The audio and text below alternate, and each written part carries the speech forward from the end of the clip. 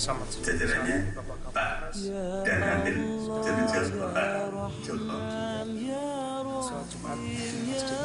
Pak kalah jadi tapi kalau nyawa tidak ada yang bisa kita gantikan. nah yang terakhir saya mohon kerjasama dan kalau saya